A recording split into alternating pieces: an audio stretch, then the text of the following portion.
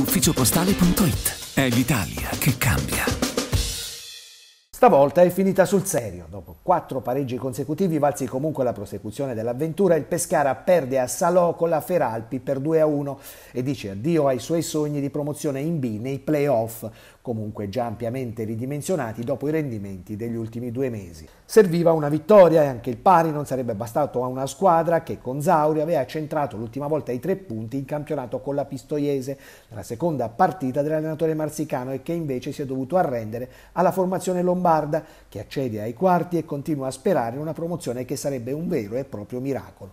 Per il Pescara, che pure ha visto con sé in riva al lago di Garda al seguito un manipolo di tifosi apprezzabili per ottimismo e attaccamento ai colori, solo un tempo di speranza prima di capitolare per i soliti errori difensivi che hanno caratterizzato tutta la stagione, pagando stavolta anche le assenze contemporanee di Derisio e Pompetti a centrocampo. Ma i problemi arrivano da lontano e dagli appuntamenti mancati nei mesi scorsi, quando la squadra ha dimostrato di non avere la forza per andare avanti. Ora ci sarà da programmare dopo un campionato che non può non essere considerato deludente.